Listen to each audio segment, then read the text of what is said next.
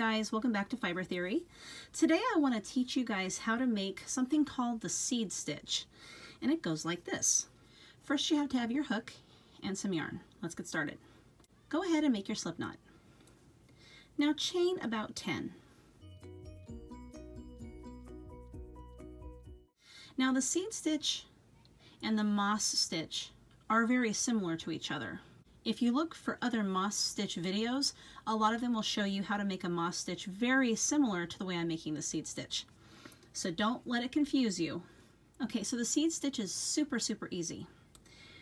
You're gonna go ahead and make a single crochet in the very first space next to your hook and finish off the single crochet. Next, in the next space over, you're gonna make a double crochet.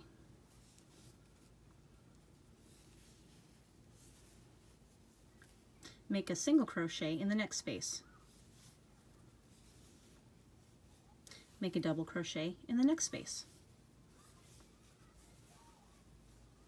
So what you have is a variation of single crochets and double crochets. So it's a single, a double, a single, a double, a single, a double.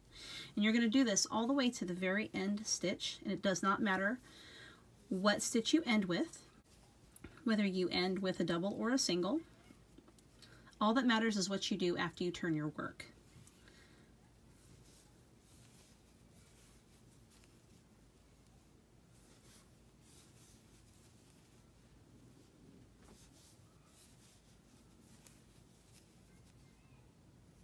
Okay, we're going to go ahead and end with a single on this one.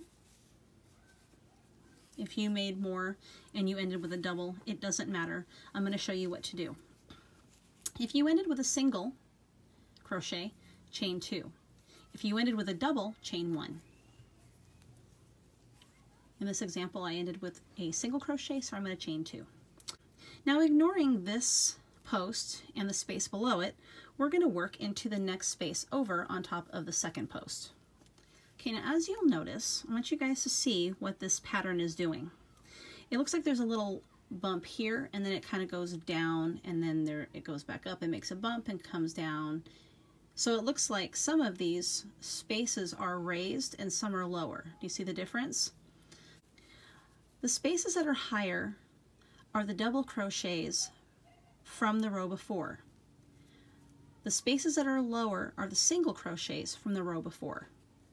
In order to make the seed stitch and keep with the pattern, you need to make sure that you know which space is which.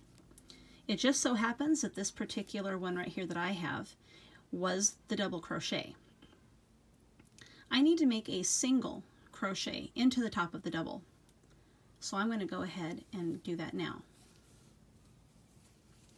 The next space over was a single crochet, so I'm going to make a double crochet in top of the single crochet space.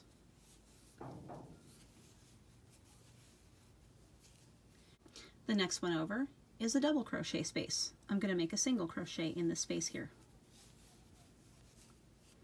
The next one over was the single crochet. I will make a double crochet in this space. So as you'll notice, what you're doing is making the opposite stitch of what you made before. If you're working inside of a double crochet, you're going to make a single crochet in the top. If you're working inside of a single crochet, you're going to make a double crochet in the top. This one here was a double crochet. I'm going to make a single. This one here was a single. I'm going to make a double. This here was a double. I'm going to make a single. This very last one at the end was a single, and I'm going to make a double.